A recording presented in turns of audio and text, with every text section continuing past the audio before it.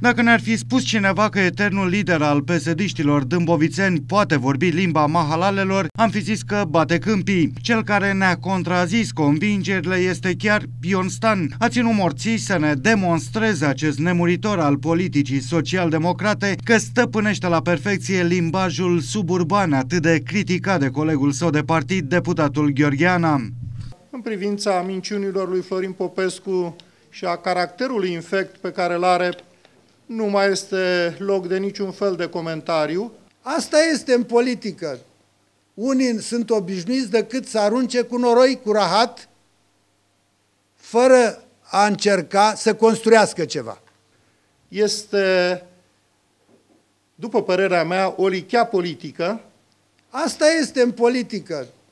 Unii sunt obișnuiți decât să arunce cu noroi, cu rahat. Sigur, este o javră ordinară. Unii sunt obișnuiți decât să arunce cu noroi, cu rahat,